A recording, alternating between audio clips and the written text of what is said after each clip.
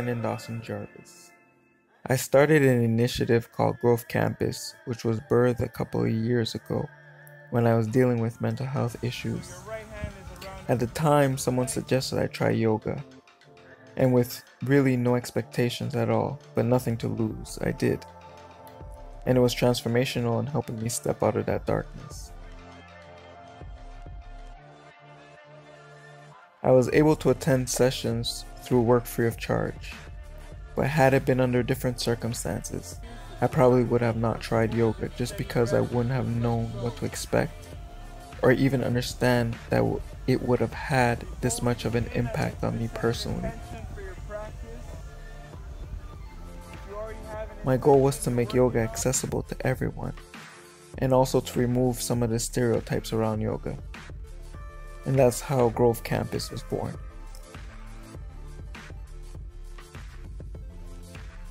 So that encouraged me to bring yoga to anyone who might be interested in trying it, but might not be able to afford it financially.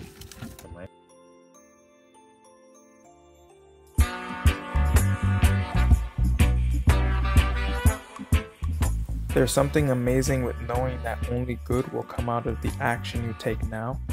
By getting on their mats, not only do people take care of their mental and physical health, but they also use that time and energy to helping a complete stranger. Their selfless decision creates a ripple effect that can only shift the future in a positive way. Fortunate, I feel very fortunate that uh, that I am in a position to be able to give back. Um, you know, growing up, it was. Uh,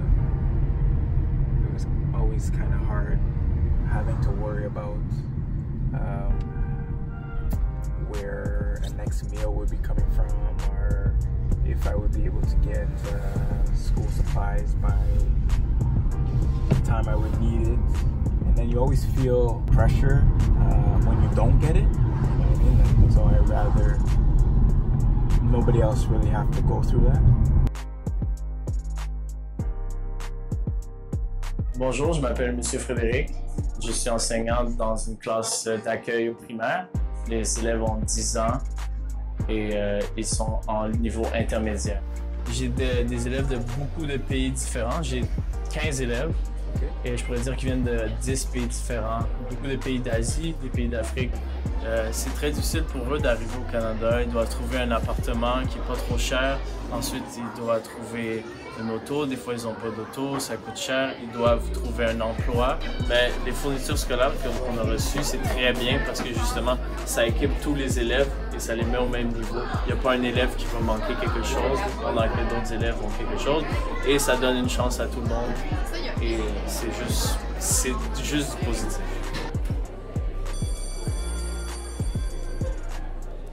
L'école La Mosaïque, c'est près de 650 élèves.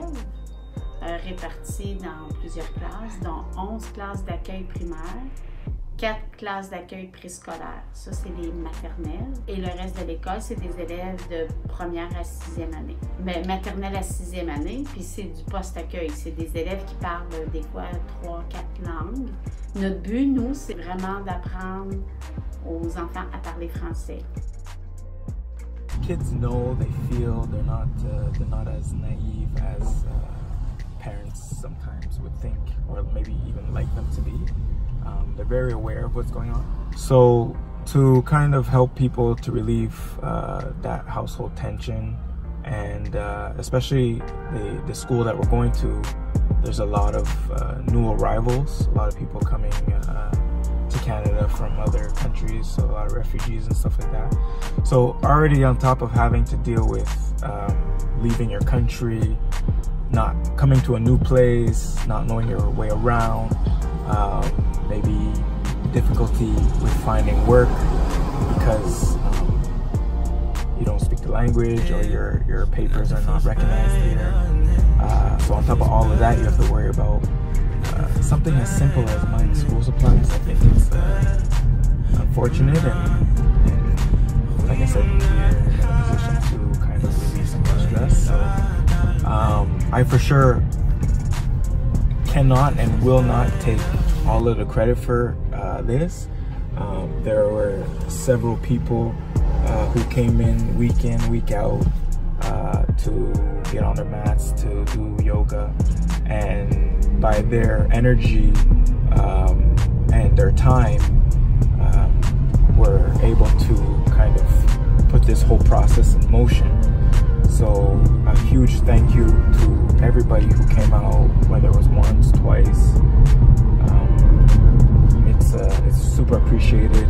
I know they don't get to see the or experience firsthand the back end of this,